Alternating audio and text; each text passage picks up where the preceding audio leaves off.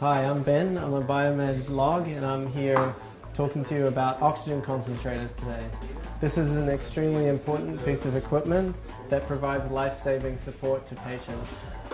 Most missions will have a range of these. They're usually this model, which is currently being repaired, or you'll find other models around the MSF supplies. So the equipment is normally used uh, in conjunction with either a mask like this, which we connect here to the front, for the patient, or with the nasal prongs like this. Sometimes it's used with a humidifier bottle if it's for a longer treatment, or without if it's not. There's two important aspects of the maintenance of this equipment that, are that are important to know about.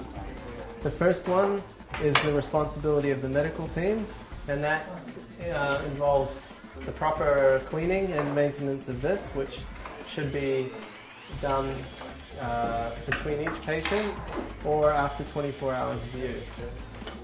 This is the dust filter, which the medicals should be changing twice a week.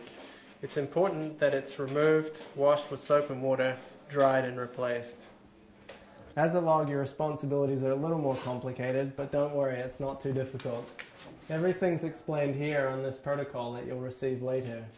The, the most important thing is to ensure that the dust filter is changed on a regular basis. This is normally done every three months. It's a simple matter of removing this cover on the back and changing the filter, which is here, from inside the device. Additionally, once a year, it's important that the antibacterial filter, which you'll find inside here. It's a little more complex to get to, but also well explained in the protocol. So this filter should be changed once a year.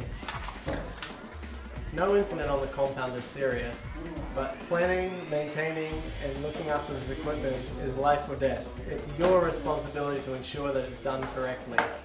Please make sure that you do proper planning and implementation of the service routines.